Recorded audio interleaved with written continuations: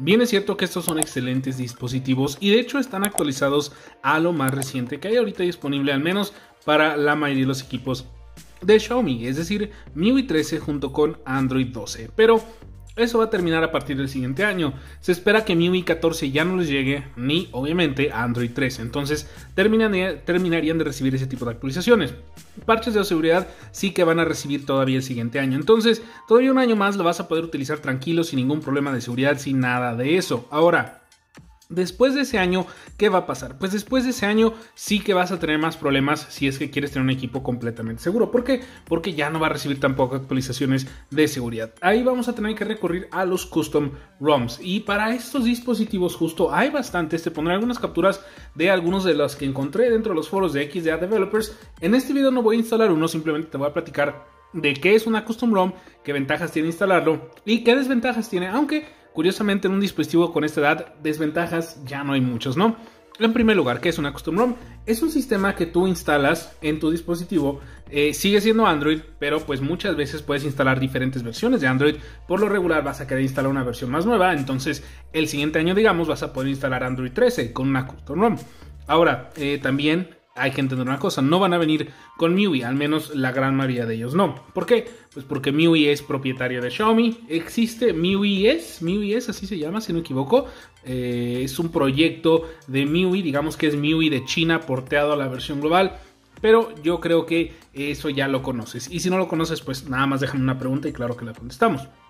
Entonces, esos son los custom ROMs, son sistemas personalizados que tú puedes instalar en tu dispositivo con diferentes versiones de Android, con interfaz de usuario completamente distinta en muchas ocasiones y muchas veces son, eh, digamos, sistemas que vienen mucho más limpios que MIUI, es decir, MIUI tiene bastantes elementos gráficos y bastantes iconos y muchas funciones. Estos ROMs, la mayoría, vienen con un sistema mucho más ligero que hace el dispositivo más veloz.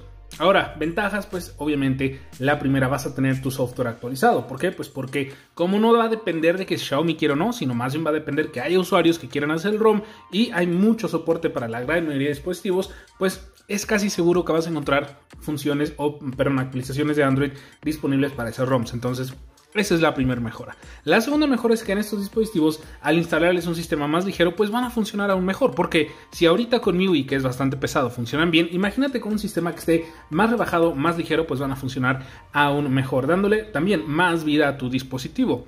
En tercer lugar, otra ventaja es que al ser ROMs, digamos que tú instalaste, puedes personalizar muchas cosas de los ajustes de estos ROMs más que con tu ROM stock o con el sistema con el que viene tu dispositivo. Desde animaciones a iconos, aplicaciones que tú quieras o no quieras tener en él.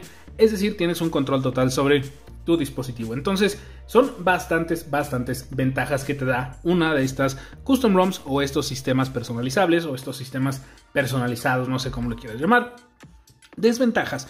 En primer lugar, ya no vas a tener garantía en cuanto instales uno de estos. Pero dado que estos equipos, la mayoría tienen más de dos años que se compraron, pues ya no tienes de todos modos garantía ni en tienda ni con Xiaomi. Ya acabó tu año de garantía, así que eso no te debería de preocupar.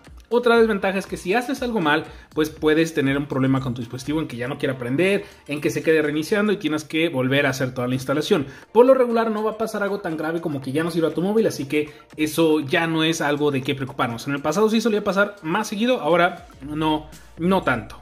Y obviamente la desventaja principal es que al tú instalar esto, pues vas a tener sí o sí algunos que otros bugs, aunque también los tenemos con MIUI Stock, entonces como que ahí no hay mucha diferencia. ¿Por qué bugs? Pues porque al ser una ROM que alguien creó, que un desarrollador, eh, digamos, eh, individual creó, pues no hay, digamos, eh, un, un, ¿cómo se dirá? Un mercado gigante de personas con el cual probar la actualización y ver si está funcionando todo, pero definitivamente no es como que sean los, los ROMs súper inestables, ni mucho menos. Una que otra bug te la vas a encontrar. Y por lo regular, estos desarrolladores, como no están trabajando para una empresa y como no tienen que actualizar 100 dispositivos, le meten bastante empeño y enfoque a la ROM que están haciendo. Y, y es muy poco probable que tengas algún bug grave. Y aún así, si llegas a tener algún bug, es muy probable que se termine arreglando con una actualización de ROM. Como te mencioné, estos ROMs van actualizando a veces más seguido que las ROMs oficiales, dado que de nuevo son desarrolladores independientes que están haciendo este proyecto o equipos de desarrollo, desarrolladores independientes. Entonces, eso es lo que tú vas a tener que hacer en tu Redmi Note 9S, Redmi Note 9 Pro y Redmi Note 9 si quieres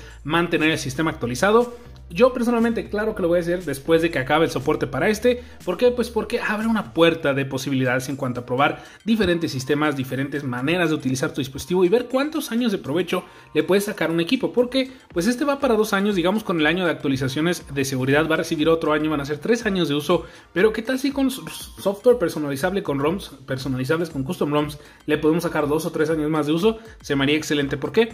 Pues porque los dispositivos suficientemente, están, perdón, suficientemente equipados para durar ese tiempo y más. Esto por este video, dime abajo en los comentarios si has instalado tú una custom ROM de estas alguna vez, qué tal te fue. Personalmente lo hacía yo bastante en la época de Android 5, Android 4, ¿sabes?